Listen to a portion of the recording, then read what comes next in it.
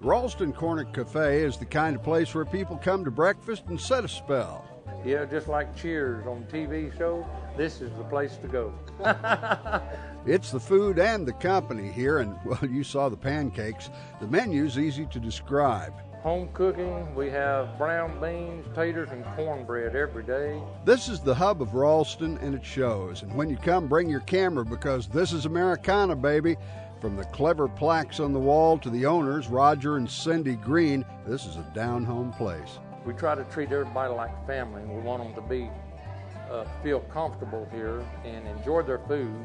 And who knows, I might even pick up a guitar and sing to them every now and then.